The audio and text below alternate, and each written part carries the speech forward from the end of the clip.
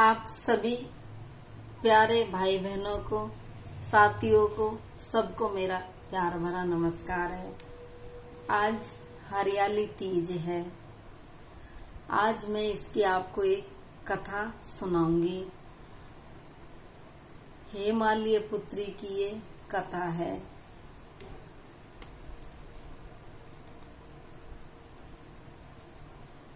बहादुर पद शुक्ला तिथि को हर ताली तीज व्रत किया जाता है। सुहागन स्त्री इस दिन शंकर पार्वती की, बालू की मूर्ति बनाकर पूजा करती हैं। सुंदर वस्त्र स्थापन से घर को सजाकर नाना प्रकार के मंडली गीतों से रात्रि जागरण करती हैं। इस दिन व्रत रखने वाली स्त्री स्नान करके नए कपड़े पहने, मेहंदी लगाएँ और थाली में पूजा का सामग्री रखकर शिव जी और पार्वती जी की पूजा करके प्रसाद चढ़ाएँ। कहानी सुनने के बाद शिव जी और पार्वती जी को धोती, अंगोछा चढ़ाएँ, फिर आरती उतारे। पार्वती के लिए एक सुहाग पिटारी, वह मिठाई चढ़ाएँ।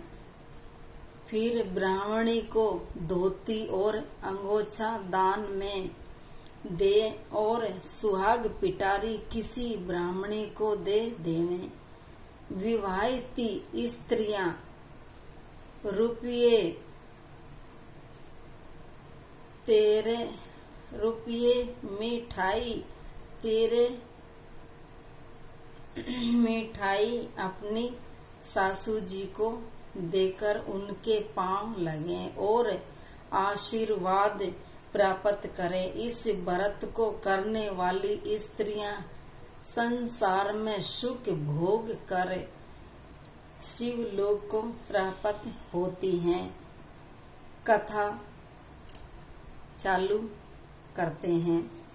हेमालय पुत्री ने शंकर को पति रूप में पाने के लिए कठिन तपस्या प्रारंभ की उसी घोर तपस्या के समय नारद जी राजा हेमालय के पास आया और कहा, विष्णु भगवान, आपकी कन्या पार्वती के साथ विवाह करना चाहती हैं। नारद जी की बात को हेमालय ने स्वीकार कर लिया। पश्चात नारद जी विष्णु के पास गया और कहा कि, आपका विवाह हेमालय ने पार्वती के साथ करना तय कर दिया है। इसकी स्वीकृति दे पिता हेमालय ने पार्वती को भगवान विष्णु के साथ विवाह संबंध में बतलाया तो उसे बहुत दुख हुआ और एक सखी से बोली, मैं इधर भगवान शंकर के साथ विवाह करने के लिए कठोर तपस्या प्रारंभ कर रही हूँ। इधर हमारे पिताजी विष्णु के साथ संबंध करना चाहते हैं। यदि तुम मेरी सहायता कर सको तो बोलो। अन्यथा मैं प्राण त्याग दूँगी। सकी ने संतवाना देती हुई कहा कि मैं तुम्हें ऐसे वन में ले चलूँगी कि तुम्हारे पिता को पता नहीं चलेगा। इस प्रकार पार्वती सखी के साथ घने जंगल में चली गई।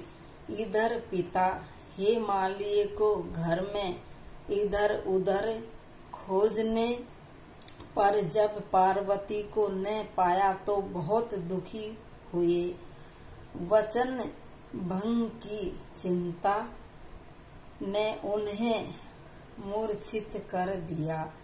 तब सभी लोग पार्वती की खोज में लग गए।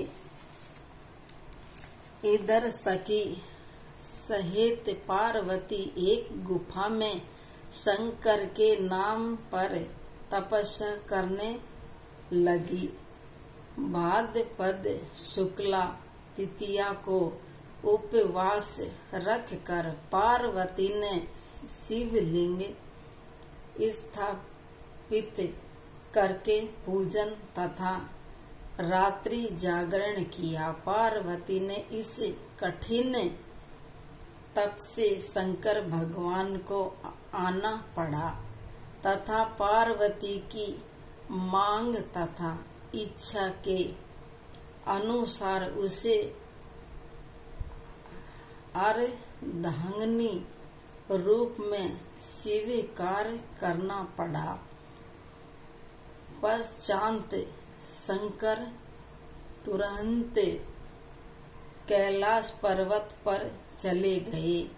प्रात बेला में जब पार्वती पूजन सामग्री नदी में छोड़ रही थी कि हेमालय राजा, उसे स्थान पर पहुँच गया।